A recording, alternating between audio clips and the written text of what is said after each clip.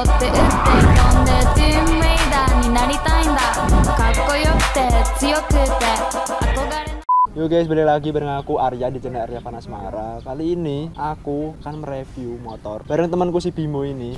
Namanya Bimo. Jadi dia yang motornya aku pinjem malam-malam itu. Kalau kalian belum lihat vlognya yang malam-malam, kalian lihat dulu. Linknya ada di atas ini. Nanti aku lampirkan. Jadi kalian pasti kepo motornya apa? Eh, udah tahu ding ya.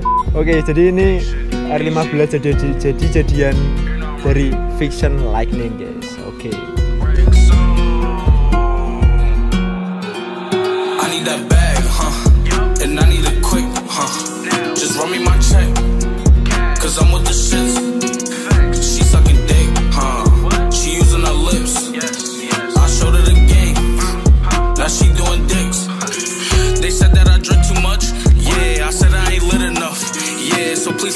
Hmm, mantep sih. Mantap. Nah, aku mau tanya-tanya dulu ini. BTW ini Mas Bimo habisnya berapa ini? Modif dari Fiction Lightning jadi R15 ini. Oh iya teman-teman, jadi ini adalah Yamaha New Fiction Lightning 2014 warna white flash yang putih abu-abu itu kan. Jadi itu saya modifnya nyicil. Pertama itu kaki-kaki dahulu. Nah kaki-kaki itu saya pakai ini armnya swing arm, pakai arm banana Yamaha Saber atau R15 V2 Endurance. Itu sama.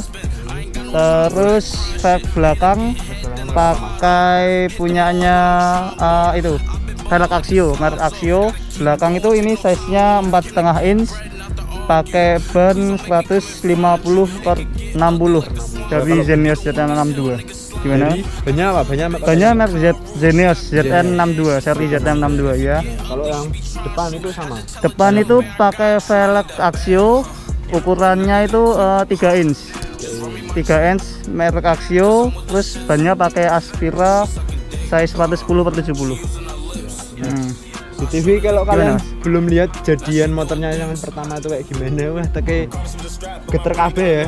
Jadi dulu ya mesti geter geter semua. Ya dulu itu saya Belum ini kan motor 2014 ya. Terus tuh zaman zaman dahulu tuh masih style-style modif itu Street Fighter apa tuh ala-ala minor fighter gitu. Jadi pakai bodi tumbuk.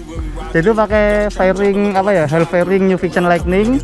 Terus ada surat bawaannya itu saya pasang di sisi kanan kirinya lagi. Jadilah motornya nggak bisa lari kenceng gitu. Karena nggak aerodinamis. Yang ngejar look itu saya. Anjir, anjir. Mengerikan apa? Gimana sekarang masih bisa kenceng? Tapi ya lebih kurang secukupnya mas ya biar bisa diliatin sama orang kan nggak kencang siap, siap. Enggak. BTW ini habis berapa untuk apa namanya firingnya ini semuanya Oh, anjir untuk ini tuh jadi new fictionnya itu saya ganti rangka rangkanya itu pakai rangka R15 bau- ori sama fairing body tangki semua pakai R15 V3 saya dapat yang tahun 2020 waktu itu warna biru ya habisnya itu sekitar 5 juta. Itu 5 juta lebih kurang ya mas. Kan ada biaya pasang itu saya nggak ngitung soalnya. Biaya jasa terus biaya kayak transportasi. Ya lebih kurang 5 juta lah itu untuk fairingnya aja itu 5 juta? Oh enggak, fairing doang itu enggak sampai, paling empat tengahan. setengah udah full kayak gini ya? Iya, sama rangka itu, sama biaya jasa kan. mantap. Jadi tuh saya emang sengaja bangun itu, terus yang apa lagi ya, yang saya ganti itu terus bila ini terus nomor seri Oh. rangkanya nomor rangka aman mas. Jadi nomor rangka kan di blok situ kan, dipotong dari rangka NVL-nya, terus di welding ke rangka yang R15 ini. Jadi dipindah? ya, nomor rangkanya dipindah, nomor mesin masih asli, new fiction new jadi sesuai itu. STNK 150 cc warna putih. warna putih ini masih warna putih Iya, dulu. saya sengaja pakai warna putih. stikernya mantap sih Hmm. Terus ah, itu ini ini tuh lampunya aku ngidam lampunya cuy Oh, lampunya lampunya pakai apa mas Bim Oh, spion. eh, eh sepi lampu iya. spion spion aku Spion pakai model ZX 10R yang ada LED-nya buat lampu sein tambahan. Kan lampu sein saya sudah saya ganti yang pakai sein tempel ini kan. ah, saya tempel nah, ini saya kira tuh dari depan sedikit mengurangin fungsional dari sein bawaan yang najal ke keluar itu kan. Ah. Terus saya pakai spion yang apa view-nya ke belakang itu lebih gede. Looks-nya juga lebih gagah Kayak sama moge ya? iya, Ya. moge looks banget kan. mengerikan mengerikan Terus yang ada lampu seinnya juga udah saya fungsikan itu ke kanan kiri berfungsi. nah ini stangnya berarti pakainya R15 ya Stang shock itu pakai Ori R15 V3 shock upside down oh iya kalau kalian juga lihat vlogku yang kemarin aku salah debut kalau shocknya itu apa tempelan anjir zero saya malam-malam nggak kelihatan guys jadi ini tuh aslinya bener-bener emang bener-bener upside down dari R15 kayak Iya, gitu. 15 feet. nah lanjutkan lagi BTW ini windshield-nya ganti ya apa masih tetap Oh. pakai R15 ini Enggak mas, ini saya pakai windshield yang smoke model double bubble. Double double Nah, ini kan double bubble kan, ya. Terus ada list karetnya ini biar listnya. Tapi ini nggak jilem ya Enggak enggak, emang itu dari sellernya kapan dinyarankan buat itu enggak dilem.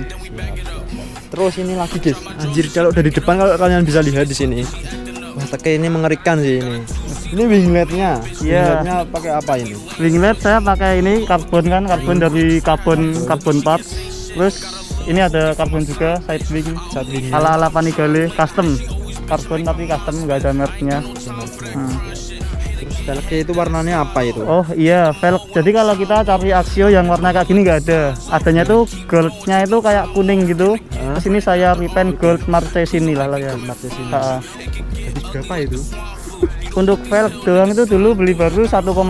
Ini Axio yang nggak double disc. Eh yang double disc doang, depan sama belakang satu-satu. Terus ini remnya jadi nggak sih Enggak, rem itu saya Masih ngikut sama? pakai itu punya 15 V3. ha. Sa- Jadi satu sama shock sama segitiga atas sama stang. Ha-ha. terus anjir ini sih yang bikin orang-orang mesti lihat tuh stikernya ini ini stiker ya namanya ya Iya, pakai ya wrapping. stikernya wrappingnya itu pakai apa ini warna apa ini Wrapping ini saya yang bagian warna putih itu pakai eh, warna itu white hologram, holographic mirror chrome yang putih. Yang abu-abu buat pairing sama tangki atas ini pakai warna hitam, hitam hologram. Punyanya Max Decal. punyanya Apa mereknya dari Max Decal.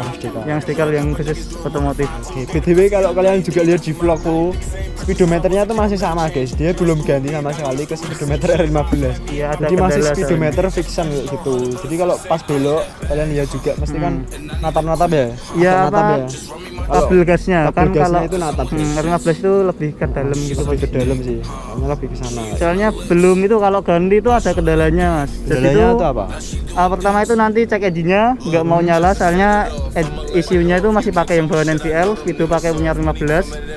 Terus sama ini kan speednya masih 5. Speednya masih 5 Yang R15 kan itu tuh buat ya buat apa di buat indikator speed 6 kan 6 speed maksudnya. Jadi nanti rasionya itu beda. Jadi nanti nggak akurat. Menurut saya akurat ya.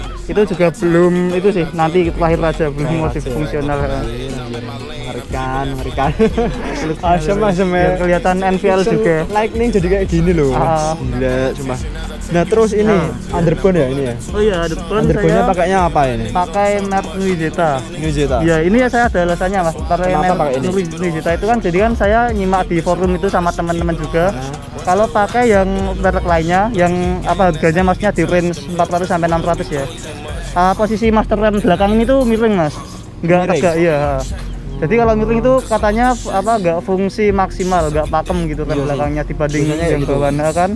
Daripada saya nambah bracket tambahan terus saya kan searching-searching cari referensi dapat yang ini Nui Zeta. Ya looksnya juga beda juga.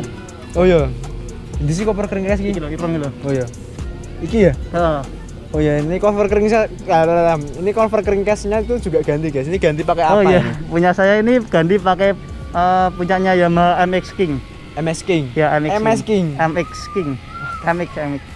Sumpah ini motor sumpah kayak kanibalan cuy.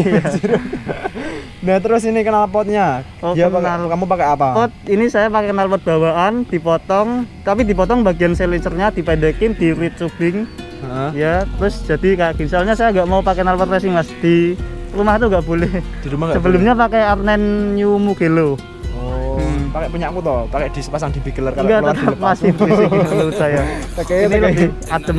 lebih adem ya Iya. bener sih. Tapi buat underbelly ya. Ah, buat look saja terus juga udah kan orangnya itu yang bikin apa sudah ada sebelumnya kan sudah pernah bikin Ah. jadi knalpotnya nggak ngempos maksudnya tenaganya powernya agak lost gitu walaupun ada beli BTW ini tuh lecet tuh gara-gara apa ya? oh ya itu lecet kan itu lecet ini. ya itu lecet itu dulu waktu pakai knalpot yang armline itu tuh apa bracketnya kayak ternyata nggak presisi di arm saber ini dari arm NVL dulu Hmm. terus saya juga nggak tahu kok ternyata udah ada bekas kayak gitu Bekas. ya belum sempat prepare Pasti lagi di repaint.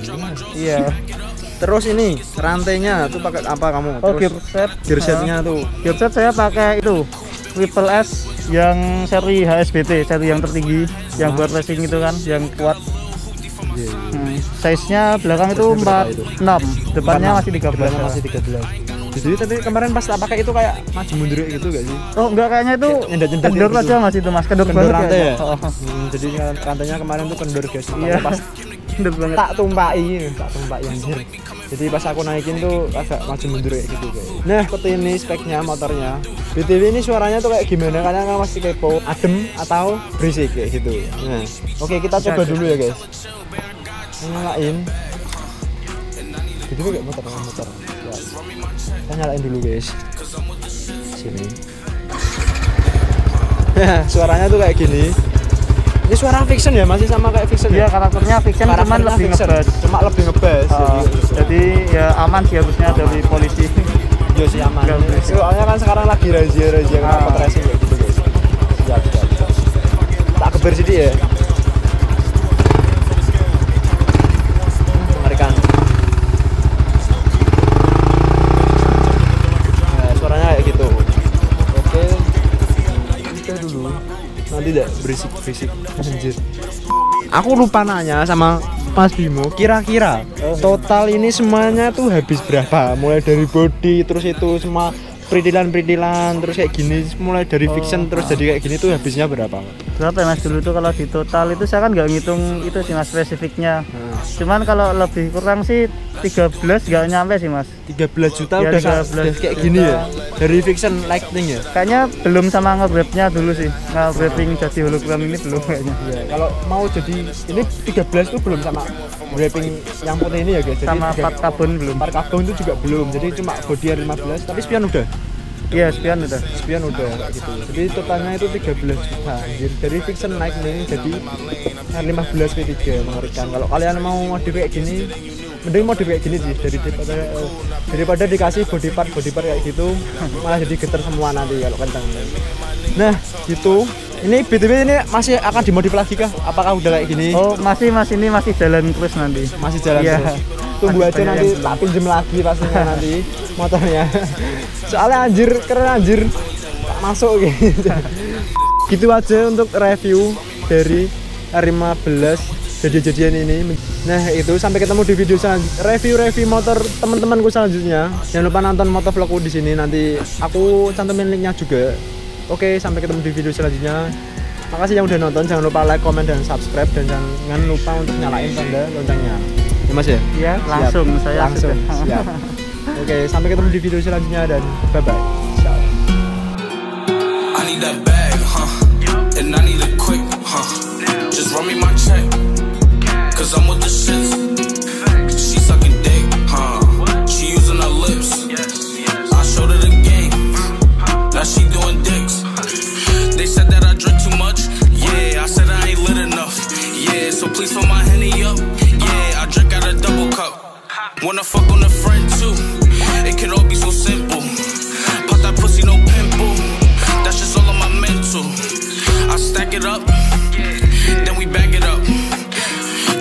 And she back it up.